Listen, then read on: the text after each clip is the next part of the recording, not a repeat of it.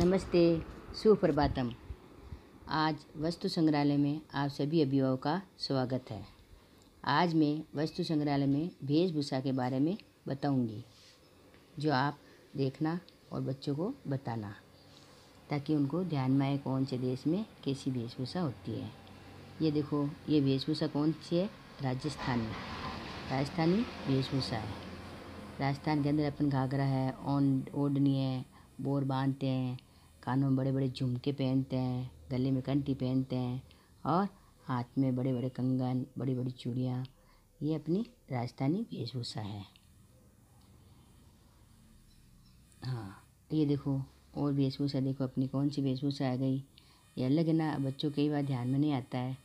तो ये है गुजराती। कौन सी वेशभूषा है? गुजराती। ये जे, ये इधर देखो, ये औरत की वेशभूषा ऐसी होती है गुजराती और आदमी की इस तरह से गुजराती वेशभूषा है ये। और ये अपने वेशभूषा आ गई। देखो अच्छी तरह से कौन सी वेशभूषा है ये? हरियाणा, है ना? हरियाणा की वेशभूषा है ये। किसकी वेशभूषा? हरियाणा में। इनमें बड़े बड़े लहंगे होते हैं और बड़ा सा कुर्ता जैसा पहनते हैं और ऊपर ओढ़ने ओढ़ते हैं। हरियाणा में इस तरह से औरतें पहनी हुई रखती है हर समय। और ये अपने, देखो कितनी अच्छी लगती है ये। ये ये ये वैसे पंजाबी है। कौन सी है ये? पेन पंजाबी। ये जेंट्स इस तरह से पहनते हैं और ले, लेडीज़ है जो घाघरा उन्ना ये सलार सूट पहनती है और ये भैया होते हैं जो जैकेट वाला सूट ज़्यादा कर वो जैकेट वाले कुर्ता पहनते हैं और नीचे धोती बांधते हैं। ये पंजाबी है। अच्छा ये देखो ये ये वेश ये किसकी है? ये अलग भाई इसको जेंट्स को अलग भैया अलग दिया है और आदमी को इनको अलग रखा है। महाराष्ट्र की है। किसकी है महाराष्ट्र की। ये आदमी लोग इस तरह से कपड़े पहनते हैं महाराष्ट्र में। और औरत है जो, औरत के कपड़े, ये इनका उधर गजरा लगाते हैं। गजरा लगाना लेंग वाली साड़ी पहनना और बिंदी लगाना, ये इनकी उधर की विशेषता है। हर समय वो तैयार हुई रहती है और बालों में गजरा ज़रूर लगाती है वो। ये अपने ये ये ये देखो वेशभूषा कौन सी आ गई अपने? उड़ीसा। उड़ीसा है ना? उड़िया भाषा होती है इसकी। उड़ीसा वेशभूषा है ये। ये आदमी जो ऊपर चोला पहनते हैं, नीचे धोती पहनते हैं और औरतें जो बालों, बहुत लंबे लंबे बाल होते हैं उनके, जो उनको चोटी बना के उसको आगे रखना बड़े बड़े गलों में, गले में पहनना और ये लांग वाले, उधर भी लांग वाली साड़ी ज़्यादा पहनते हैं। ये उड़ीसा है। हाँ ये देखो कश्मीरी। ये कौन सी ड्रेस है? कश्मीरी। कश्मीर की ड्रेस के अंदर सिर पे ढका रहता है, हर समय टोपी जैसे उसको बाँध के रखते हैं चुन्नी को। और ऊपर कुर्ता, नीचे लेगी जैसा, सलवार जैसा सभी औरतें इस तरह से पहनती है। हाँ ये देखो, ये कौन सी वेशभूषा है? दोनों के जैसी, एक जैसी लगती है, पर वो बंगाली वेशभूषा है। कौन सी वेशभूषा है ये? बंगाली। बंगाल में क्या है ज़्यादातर बॉर्डर वाली साड़ी ज़्यादा चलती है।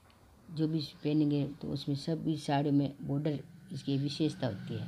हर साड़ी के अंदर बॉर्डर चौड़ा चौड़ा बॉर्डर होता है और बॉर्डर वाली साड़ी ज़्यादा चलती है उधर, बंगाली ड्रेस में।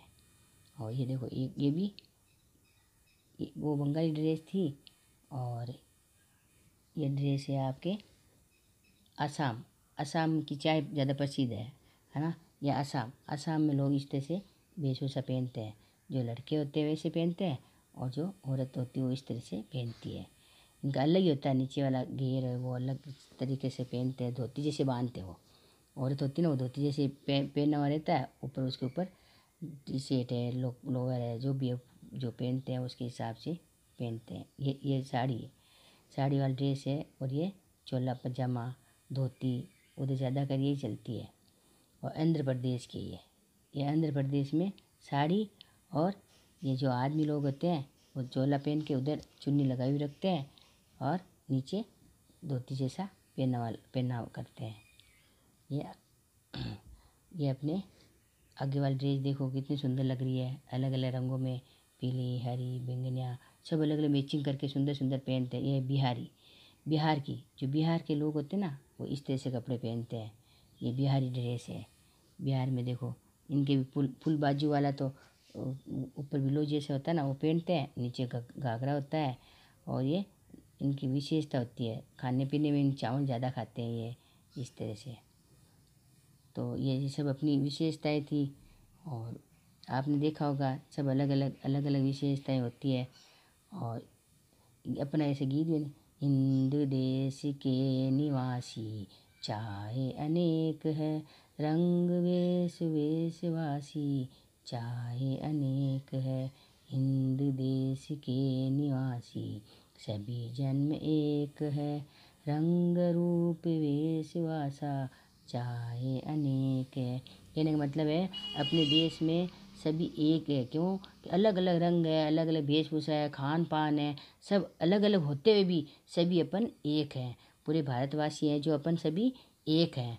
सबका देखो खान, खाने का तरीका, खान पान का अलग तरीका है, रहन सहन का अलग तरीका है पहनना पहनावा उनका अलग है, रहन सहन अपने त्यौहार अलग अलग होते हैं, सभी अलग है, फिर भी अपन पूरे भारत वाले, रहने वाले देशवासी सभी अपन एक है। तो इसी से अपन को ये प्रेरणा मिलती है कि अपन सभी एक ही हैं, अलग अलग खान पान, रहन सहन, वेशभूषा, रंग रूप, जो भी अलग है, फिर भी अपन एक हैं।